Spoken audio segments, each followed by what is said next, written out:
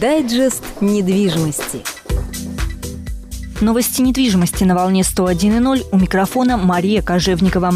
Шмаков заявил, что не хотел брать взятку. В суде продолжается рассмотрение дела экс-директора Кировской региональной ипотечной корпорации Виталия Шмакова, который обвиняется в получении взятки в сумме 3 миллиона рублей. Эти деньги, по мнению следствия, Шмаков получил за передачу права на достроенные квартиры по заниженной цене в счет погашения задолженности Крика перед компанией граждан Ремстрой. На заседании, которое состоялось накануне, показания давал сам обвиняемый обвиняемый. Его задержали 30 мая во время передачи ему денег активистам ОНФ Константином Сичихиным. В суде Шмаков рассказал, что Крику никак не удавалось договориться с компанией граждан Ремстрой об урегулировании задолженности. Шмаков решил воспользоваться связями и общественным положением Сичихина. 21 мая тот организовал встречу с представителем граждан Ремстроя. Тогда обсуждалась передача квартир в доме на улице Орджоникидзе. По словам Шмакова, Сичихин предложил ему заработать на этой сделке. Однако Однако, говорит Шмаков, решение о передаче квартир он не мог принимать без согласования с Советом директоров. В итоге Совет директоров решил передать квартиры по цене 28 тысяч рублей за квадратный метр, отметил Шмаков. Сичихин же стал настойчиво просить его о встрече, в ходе которой передал Шмакову пакет. Экс-глава Крика пояснил, что не знал, что передает ему Сичихин, сверток не взял, так как понимал, что это провокация, никакой взятки брать не хотел, заявил Шмаков.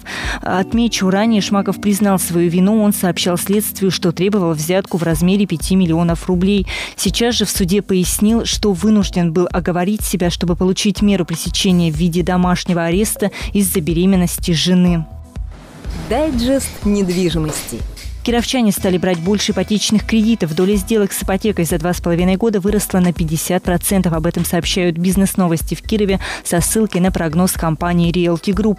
Ее специалисты отмечают, что тенденция в ближайший год сохранится. 78% из тех, кто планирует приобретение жилья, намерены сделать это с привлечением ипотечных средств. По прогнозам, в четвертом квартале этого года на вторичном рынке произойдет более трех тысяч сделок с ипотекой. При этом доля ипотечных сделок купли-продажи квартир превысит 60%.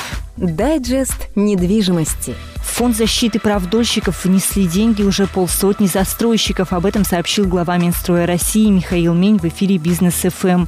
По его словам, деньги в компенсационный фонд внесли уже 54 застройщика из 24 регионов. При этом действует фонд еще только 10 дней. Официально он начал работу 25 октября.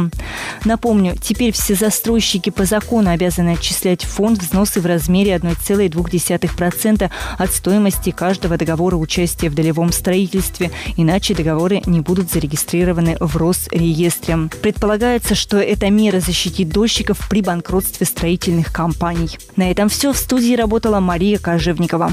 Дайджест недвижимости.